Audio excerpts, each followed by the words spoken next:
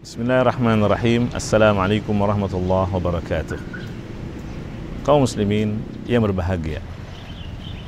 Hari raya dalam Islam tidak hanya diisi dengan kebahagiaan. Akan tetapi hari raya dalam Islam juga dipenuhi dengan ibadah.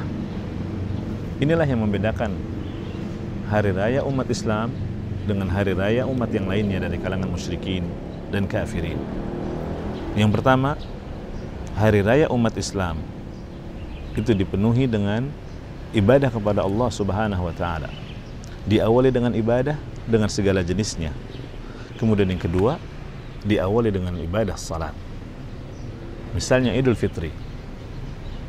Hari raya didahului dengan ibadah berpuasa di siang hari, ibadah salat tarawih di malam hari. Kemudian di sana ada i'tikaf, ada zakat. Dan di hari rayanya diawali dengan salatul id. Inilah yang membedakan umat Islam dengan umat yang lainnya. Adapun hari raya orang-orang kafir itu semata-mata dipenuhi dengan hura-hura, foya-foya, bersenang-senang, bahkan tidak sedikit yang diisi dengan kemaksiatan. Di antara yang disyariatkan pada hari raya adalah sebagaimana firman Allah Ta'ala, وَلِتُكْمِلُ الْعِدَّةَ Allah ala ma hadakum wa la'allakum.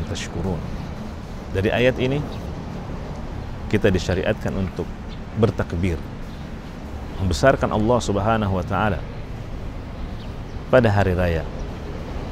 Beda memang antara Idul Fitri dengan Idul Adha. Adapun untuk Idul Fitri terdapat dua pendapat.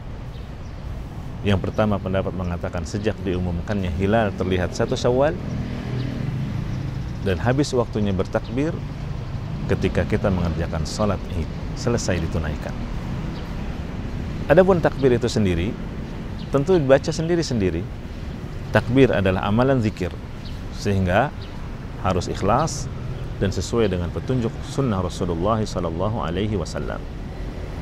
Ikhlas, dia bertakbir tanpa ingin mengharapkan pujian manusia karena suaranya yang bagus.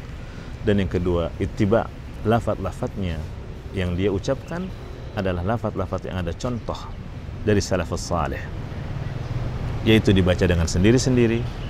Adapun kemudian ternyata tanpa ada unsur kesengajaan sehingga suara bergemuruh dengan takbir itu adalah hal yang dibolehkan. Asalkan bukan dipimpin oleh seorang komando kemudian setelah itu bertakbir beramai-ramai setelahnya. Ini membutuhkan dalil dan tidak ada dalil akan hal tersebut Barakallahu fikum. Semoga kita berhari raya sebagaimana yang dicontohkan oleh Rasulullah sallallahu alaihi wasallam. Jazakumullah khairan. Subhanakallahumma bihamdika asyhadu an la ilaha illa anta astaghfiruka wa atubu ilaik. Wassalamualaikum warahmatullahi wabarakatuh.